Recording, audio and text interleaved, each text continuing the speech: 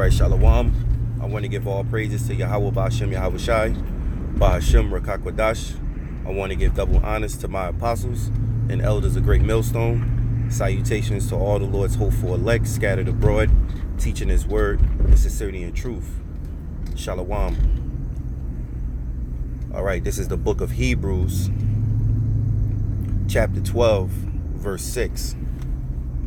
It says, For whom the Lord loveth, he chasteneth and scourges every son whom he receive. If ye endure chastening, the Most High dealeth with you as with sons. For what son is he whom the Father chasteneth not? All right, now, just to get, uh, you know, quick definition of the word chasten, or you can say chase, chasten, right? It means of a rebuke or misfortune. Have a restraining or moderately effect on. It says, um, especially of God, discipline, punish. You know, so being chastened doesn't feel good. Okay, it is a, a, a rebuke know, sometimes, like the scriptures say, you can rebuke. You, when you rebuke, you rebuke sharply. You know, sometimes uh, uh, the apostles they rebuke publicly, and sometimes there there are rebukes that are uh, privately. You know, and um, the Most High overall, He rebukes the His sons, the ones He love. All right, just as well if if you are a father and you have children, you know, you're going to be uh you're going to have your children in in a certain discipline for for for, for the respect for their, them them themselves having a certain manner about themselves, you know, and how to control themselves in the public and whatever it may be. You know, uh, it could be school. You know, you want them to get certain grades. You know, hey, he might be a karate fighter or something. You know, he get disciplined. You know, so he's getting chastened. And here it is in America, better yet, better yet known as uh, Babylon the Great, which means great confusion. Esau don't want you to chasten your children because he needs your children to be wild and crazy. You know, he needs your children to not follow order and not be disciplined so that he can discipline them when he feels. You see? And this is why they aimed, you know, at the at the father fig the father figure in the so-called minority house uh, household. They aimed uh, at him to take him out of the household so that the woman would depend on Esau, the government all right? And uh, if your child doesn't have discipline then he's going to be in a whole lot of trouble okay? He's going to go through the system you know? He's going to be disciplined by esau and if he get too crazy esau is going to sit his ass down okay? Or might even kill him. So anyway of a rebuke or mis misfortune having have a restraining or moderately effect on so when you chasten your son, as the scriptures say, you know, you know, you have an effect on them. You have um, this way of training them. You know, being chastened is not a bad thing. It's a good thing. All right, but nobody wants to go through it because it, it's a hard thing. You see, but when it pays out, when it plays out in its time, okay, you know, when, when that, you know, you'll be thankful later. You know, that's why, you know, like like most, uh, you know, when I was young, a lot of older guys, you know, women older than me used to say, you know, when I was watching television with my pops and watching the comedy shows and things like that, they will always say, I'm, I'm glad, you know, my mama or my grandmother or my father or my grandfather whooped my ass that saved me a whole lot of trouble. And then here it is, you know, here it is. I done got older, and then you look at this generation and you see how they are, you say the same thing. I'm glad the Lord uh, had my, my pops in my life, or you know, and I was brought up a certain way, because I wouldn't do that dumbass shit that most of these niggas out here are doing to get themselves in this world of hell. You know, but check this out. It's a beautiful thing. It's even more important, okay, when the heavenly Father chasten you, because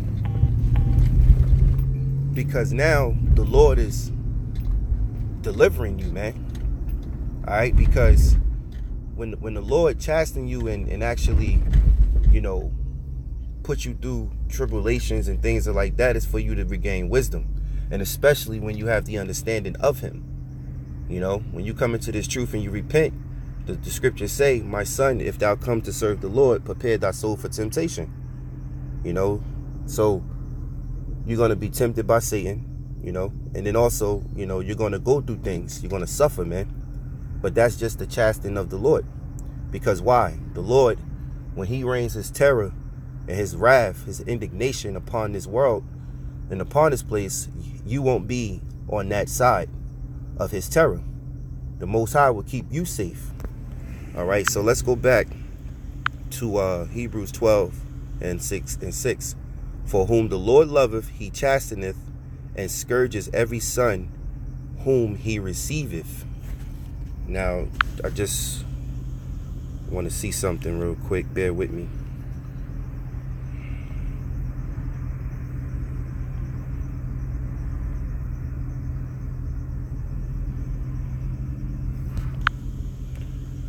Okay, let me read that again. For whom the Lord loveth, he chasteneth and scourges every son whom he receiveth. So whoever the Lord receives, all right, because most because the Most High does the picking and choosing, and He takes upon Himself, He scourges them, man. He chastens them, meaning He put the belt to them, and the Most High is a higher power than what we are. You know, He said, "My thoughts are not your thoughts, my ways are not your ways." The Heavenly Father is a rough teacher. He's the power of the universe. Okay? And when he deal with us, he makes sure that we go according to his plan and according to his liking. All right? And it's to save you. Because man got a way of sorting out many inventions. Man got a way of, you know, thinking he's clever and trying to cut corners. You know, man got a way of falling short so we need the guidance and the chastening of the Lord in order to make it in this cruel, wicked, God-forsaken world. Okay? So it says, um, if ye endure chastening, the Most High dealeth with you as with sons. You know, just as this, the scriptures say, it pleased the Most High to bruise his own son. So how much more, you know, you joint unto Yahawashi as the heirs of the kingdom, you know, when the heaven when the Heavenly Father chasten his own his own begotten son, which is the son who who we love, which his name is Yahawashi, who the world ignorantly called Jesus Christ, when he laid his life down and gave his blood up, you know, as a sacrifice for us. You know, he's the master, man. All right. So if the master get chastened, how much more the pupils? Says, if ye endure chastening, the Most High deal with you as with sons. For what son is he whom the Father chasteneth not?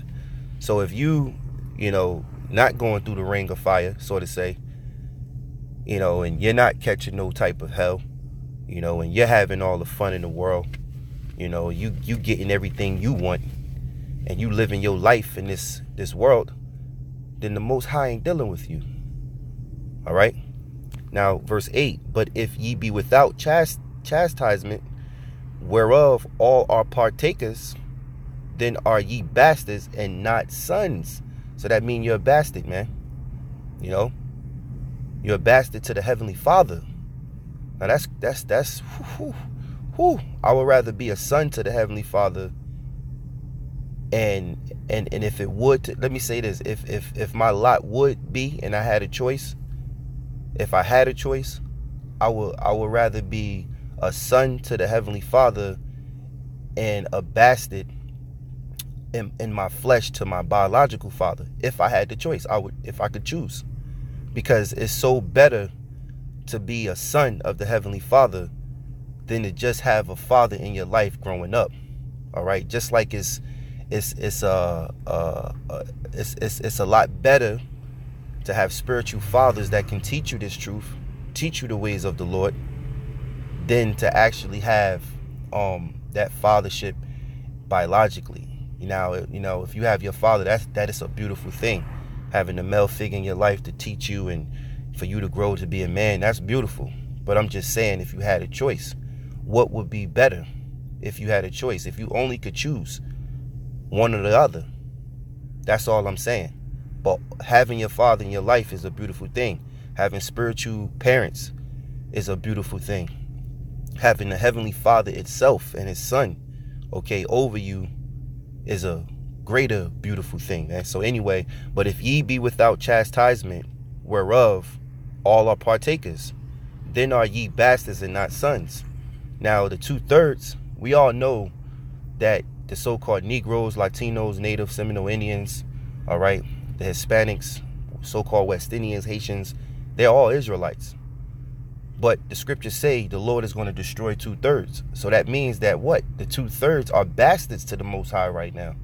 Because the Most High don't claim them. The Most High is not looking at them as sons, even though they are sons. You know?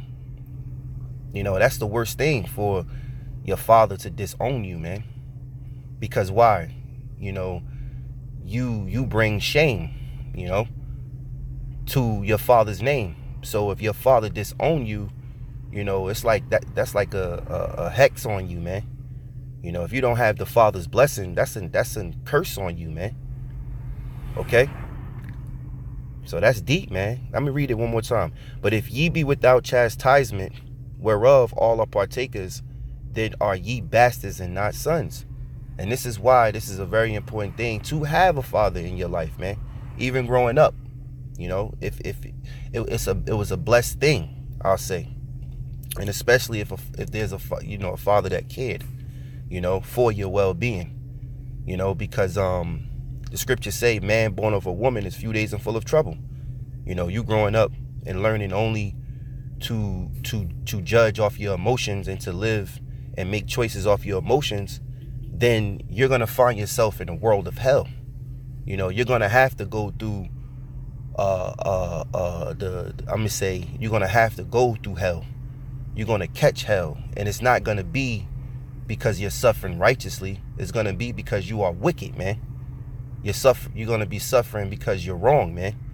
And then, hey, some guys, you know, they go to jail, they get into sports, and they get that type of father figure, brothers around them, and and that's what's, you know, discipline them, as far as to to to structure their life so that they don't uh, have that mindset of a woman, you know, and being emotional.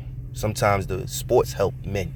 Sometimes, uh, you know, uh, him going to jail will help help a man in his way of life.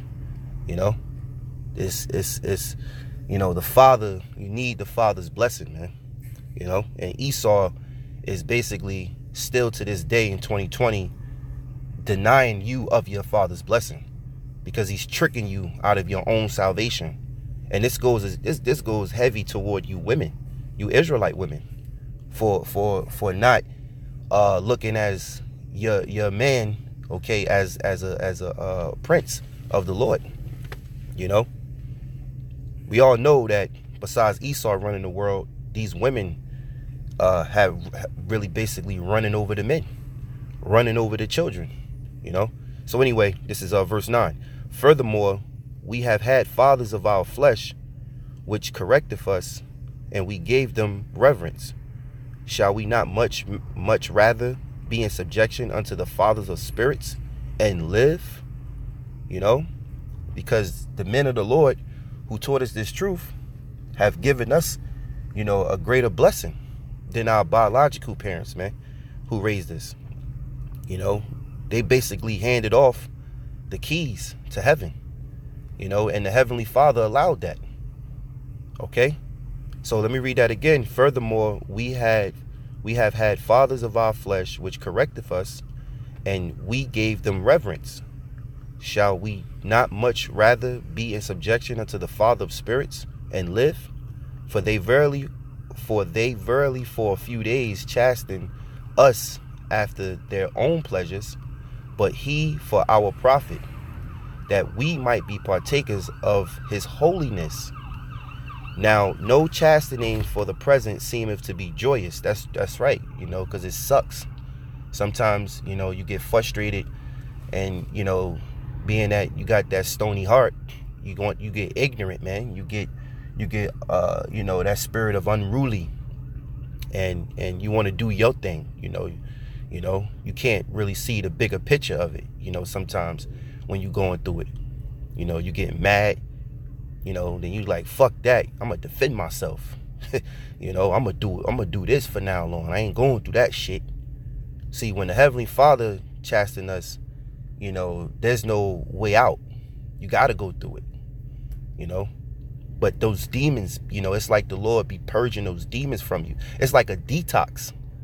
Because hey, a righteous man, he may not understand at the time, but he be fighting off the demons that be plaguing his mind to to to go to go left. So it's kind of like a detox. And then finally, when the Lord uh, make a way for him to escape out of the hell he's going through, and then the Lord, you know, gives him that understanding and clear eyes to see, then he start rejoicing in the Lord, man. You know, and being thankful. All right, give him all the praises and glory to the Heavenly Father. And now he done gain experience. So now what he can do with that experience, he can teach others. You know, when other, when other brothers go through that similar situations. And then a brother could console, you know, he can uh, uplift another brother when he's going through it. You know? So anyway, it says, um, now no chastening for the present seemeth to be joyous, but grievous. Nevertheless, afterward, if it yielding it yieldeth the peaceable fruit of righteousness unto them which are exercised thereby. So it yieldeth that peaceable fruit, meaning that fruit be ripe, that fruit be purged right. When, you know, my mom's always taught me when I was young, like I said this before, you know, in lessons in the past, that, you know, when I was young and I uh, would be with my moms, I didn't understand why she would perfectly cut a, a beautiful plant that was healthy. In my eyes, the plant was all right. Leave it alone. Just water it and let it get the sun. But she would take the scissors and clip off the limbs. And I'll say, Mom, why, why are you doing that? You messing it up. It look all stupid now. It's all like skinny. It's not looking healthy, full. And she'd say, because it's going to grow back stronger. And I never understood that until time went on. And then you look at that plant and that thing, you'd be like, damn, that shit grew back a whole lot stronger. You know, now, you know, especially if you got a plant that that uh, you know, you have for years, you know, and you look at it and remember it when she first got it as it was a seed and a little stem, you know? But that applies to this truth. All right? To us brothers, we're like trees, okay? Matter of fact, I believe that's in Psalms where the Lord said we're like trees planted by the riverside. You know, uh, let, let, me continue. It says, uh, Now no chastening for the present seemeth to be joyous, but grievous. Nevertheless, afterward it yieldeth the peaceable fruit of righteousness unto them which are exercised thereby. It says, Wherefore lift up the hands which hang down and the feeble knees. Yeah, because if brothers you going through shit, you know, and you down, you weak, read the scriptures. That's what this lesson for, for the brothers that are weak. It says, and make strength, excuse me, and make straight path for the for your feet, lest that which is lame be turned out of the way, but let it rather be healed. And that's what that's what it is. You know, we're we're all sick. All right, we're, we're all uh, uh, in need of a healer. You know, the mind, body, and soul. So you know, we are weak, but we're conquerors through Him that love us, as as Apostle Paul said. So we need Yahawashi, man. We need the Heavenly Father. All right? We need to be saved. we need to be saved. It says, verse 14, follow peace with all men and holiness, without which no man shall see the Lord. Looking diligently, lest any man fail of the grace of the Most High, lest any root of bitterness springing up trouble you, and thereby many be defiled. All right, so that's basically the point. You know, I hope this lesson will be uplifting to those that be going going through it. We in Passover season, you know, and, and before the Passover and little after the Passover is always a purge. You know, the apostles always speak about how the Lord is trimming that fat, you know. So you catch them little minor tribulations and shit, things occur, you know, all at once and shit. Yeah, man, man, we need Yahweh. We need to get out of this fucking body, man, and get in our new bodies and and reign uh, and, and uh, rule superior over this world, man. With with our Lord Yahweh man. We need we need the kingdom now, now, man, more than ever, man. And that's why uh, the Heavenly Father Yahweh, He knows it, okay. And that's why we at where we at. You know, prophecies are are, are, are, coming to pass, man. Things are speeding up. You know, there's no going back. It's only going forward. So, you know, just continuing to praying for fewer days here in this place, man. So with that, I hope you brothers were edified. I want to give all praises to Yahawah BaHaSham Yahweh Shai, BaHaSham Rakakwadash. I want to give double honors to my apostles and elders of Great Millstone. Salutations to all the Lord's hopeful elect. Shalom.